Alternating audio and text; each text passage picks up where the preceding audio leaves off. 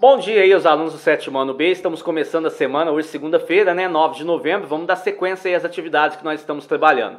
Vocês tiveram um tempinho aí nas semanas passadas para colocar as atividades em ordem, né, aquelas que você ainda não tinha realizado, e agora a gente dá sequência uh, nas atividades do quarto bimestre. Para você aí que está me acompanhando, o que, que, que, que nós vamos fazer? Esse material que está em tela, o Aprender Sempre, é o material que nós vamos trabalhar esse bimestre. Onde você vai localizar esse material? Eu vou deixar o link do meu site à disposição de vocês aqui no Google Classroom e também uh, o material de acesso você vai navegar pelo site, você vai encontrar lá na seção Aprender Sempre o volume 3, ok? Então vocês vão fazer para mim aí o Aprender Sempre volume 3.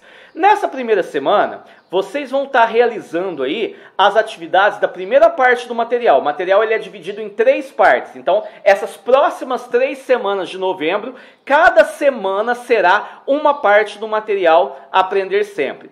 Vocês vão perceber que essa primeira parte são materiais que nós já trabalhamos no decorrer do ano, mesmo com essa pandemia, são atividades que nós já falamos, esse ano nós falamos muito sobre números inteiros, números positivos, números negativos, e essa primeira parte do Aprender Sempre, ele traz isso novamente para vocês, ok? É, vocês vão perceber que tem algumas é, respostas pessoais, por exemplo, ó, deixa eu pegar aqui na, na nessa página que está em tela.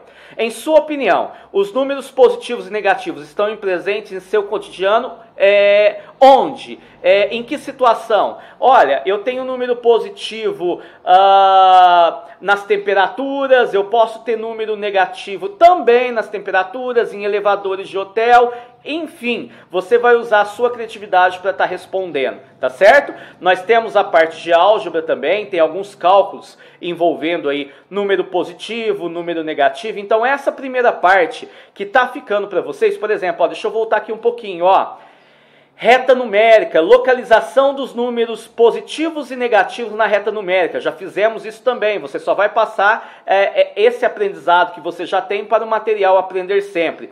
Não precisa copiar tudo no caderno. No caderno, você simplesmente vai fazer as respostas, tirar uma foto e me mandar a foto das respostas que você já fez, tá bom? Você vai perceber que tem extrato bancário, tudo que nós já fizemos em sala de aula, através das nossas aulas online, vai estar disponível aqui nesse material Aprender Sempre. Então, essa primeira parte, ela vai tendo sequência, tá certo? Até ela chegar num jogo chamado Matix.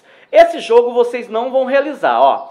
É, eu estou passando, tá certo? Eu estou passando as páginas aí para vocês analisarem até onde que vocês terão que responder essa semana aqui, ó. Chegou no jogo Matix, não tem necessidade de fazer. Esse jogo a gente vai fazer quando nós tivermos a oportunidade de termos a nossa aula presencial. Por enquanto não tem necessidade. Mas o jogo está ficando para vocês, inclusive está ficando as regras do jogo, o tabuleiro do jogo, tá certo? A segunda parte do tabuleiro do jogo também para você recortar. E percebe-se que depois do jogo Matix surge, olha lá, ó, uma nova matéria, conceituando e identificando múltiplos e divisores. Essa matéria não é para essa semana. Essa matéria é para a semana que vem. Tudo bem? Então vamos lá, vamos nos organizar. O que, que eu tenho que fazer essa semana?